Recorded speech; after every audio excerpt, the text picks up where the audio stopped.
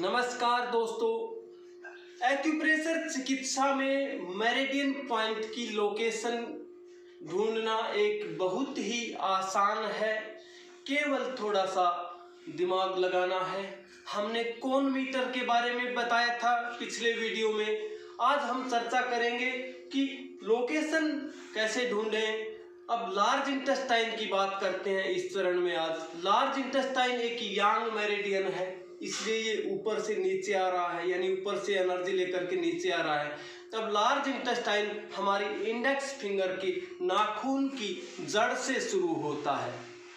ये L I one बिंदु है। अब हम जो आपको नोट्स देंगे, उसमें आपको बताएँगे कि एल आई टू बिंदु का है। अगर वहाँ पर कोई ऑर्गन से रिलेटेड बोन से रिलेटेड पहचान है तो ठीक है, नहीं तो हम कौन मीटर की सहायता लेंगे। अब ये जो हमारी अंगुली का ज्वाइंट है, ठीक इसके साथ एल आई टू बिंदु है। लार्ज इंटेस्टाइन का टू बिंदु। अब यहाँ पर लोकेशन ढूँढने में कोई दिक्कत नहीं आनी चाहिए क्योंकि ज्वाइंट का निशान है। अब L I three L I three जो हम आपको नोट्स देंगे, उसमें लिखा होगा एल आई टू से एल आई थ्री एक कोण की दूरी पर। अब एक कोण की दूरी क्या होती है? हमने पिछले वीडियो में बताया था, इसमें भी बता देते हैं। एक कोण कोण कैसे मापते हैं? ये एक कोण मीटर होता है, जो कि एक्यूप्रेशर हेल्थ केयर सिस्टम की दुकान पे बहुत ही सस्ता आता है, बीस पच्चीस रुपए के आसपास मेरे ख्याल से। अब हमारी अंगुली का जो ज्वाइंट है, ये जो क्रीज है, इस क्रीज का माप ले लेंगे हम। इस क्रीज का माप लेंगे तो इस क्रीज का माप, अब इस क्रीज पर एक और इस क्रीज पर। ये एक कोण की दूरी हो गया। लेकिन अगर हमारे पास ये मीटर नहीं है तो घबराने की ज़रूरत नहीं है, इसकी कोई विशेष ज़रूरत भी नहीं है, क्योंकि मैं भी अपनी प्रैक्टिस में इसका प्रयोग नहीं करता हूँ। अब इसको हम एक साधारण भाषा में समझते हैं कि एक अंगुली से थोड़ा सा बड़ा है, यानी एक अंगूठे के बराबर। आप देख पा रहे हैं इसकी दूरी एक अंगूठे के बराबर है। तो ये एक कोण की दूरी हो गया। ये हमारा कोण मीटर का काम करेगा अंगूठा। अब अंगूठा कोण मीटर का काम करेगा। अब एल आई टू से एल आई थ्री की एक कोण की दूरी है। अब एक अंगूठे की दूरी ले लेंगे हम।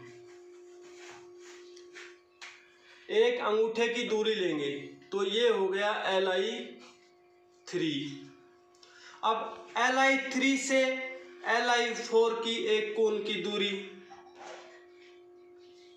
एक अंगूठा ले लिया। एल आई फोर एक मोस्ट इम्पोर्टेंट मोस्ट इम्पोर्टेंट बिंदु है, जो कि लार्ज इंटेस्टाइन का ऑर्गन सोर्स बिंदु भी है।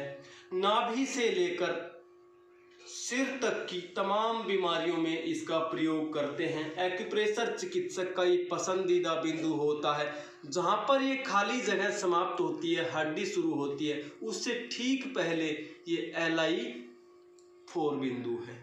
अब एल आई फाइव अब इसमें कौन मीटर की ज़रूरत इसलिए नहीं पड़ेगी, हमने उसमें लिखा है ऑन द रिस्ट यानी रिस्ट के ज्वाइंट के ऊपर, जहाँ गड्ढा बनता है। अब इसी लाइन को हम पकड़ते जाएँगे। जहाँ पर ये गड्ढा बनता है, वहाँ पर एल आई फाइव बिंदु है। अब एल आई सिक्स में कौन मीटर की ज़रूरत पड़ेगी? क्योंकि यहाँ तो गड्ढा था, रिस्ट का हमने गड्ढे की पहचान कर ली। अब एल आई सिक्स की पहचान कैसे करें? एल आई सिक्स लाइन को इसी को पकड़े रखेंगे। एल आई सिक्स हम लिखेंगे एल आई फाइव से तीन कोण की दूरी के ऊपर एल आई सिक्स अब तीन कोण तीन अंगूठा, एक, दो और तीन। तीन अंगूठा की दूरी पर इसी लाइन पर चलते जाएँगे L I six L I six बिंदु तीन कोण की दूरी के ऊपर है। अब तीन कोण की दूरी में हमें तीन अंगूठे की दूरी लेनी पड़ी। लेकिन इसका एक आसान तरीका है।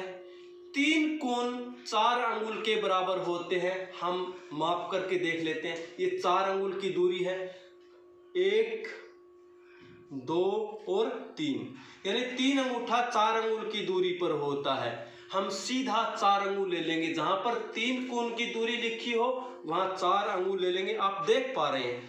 ये चार अंगुल की दूरी पर ही है। अब ये तीन कोण हो गए। यानी कून मीटर की भी ज़रूरत नहीं है। एक कोण मापना हो, एक अंगूठे की दूरी के बराबर।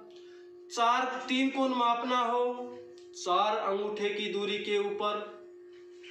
जहाँ पर डेढ़ कोण लिखा हो, वहाँ पर दो अंगुल की दूरी पर। ये चार अंगुल की दूरी पर एल आई सिक्स मेरिडियन का बिंदु है।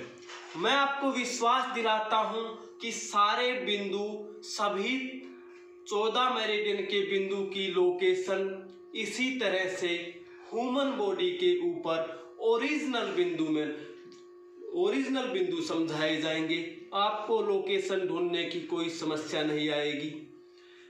एक एक बिंदु की गहराई में जाएँगे। कौन सा बिंदु किस बीमारी में लिया जाता है? कौन से बिंदु पर प्रेशर करना चाहिए? कौन से बिंदु पर टोनिफाई या सीडेशन करना चाहिए? कौन से बिंदु पर क्लस्टर मैग्नेट लगानी चाहिए?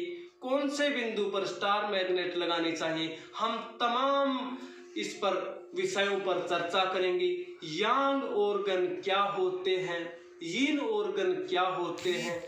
फाइव एलिमेंट क्या है? सिक्स की एनर्जी क्या है? तमाम पहलुओं पर हम गहराई से एक एक बिंदु की चर्चा करेंगे, जो कि 15 फरवरी 2020 से शुरू होने जा रहा है। आप लोगों के अपार स्नेह को देखते हुए 12 से पंद्रह हज़ार रुपए तक वाला ये कोर्स मात्र पंद्रह सौ रुपये में आपके लिए करवाया जा रहा है। आप सभी मित्रों से विनती, निवेदन कि जल्द से जल्द इस सुनहरे अवसर का फ़ायदा उठाएँ और हमारे नीचे वीडियो में दिए गए लिंक पर संपर्क करें। धन्यवाद नमस्कार।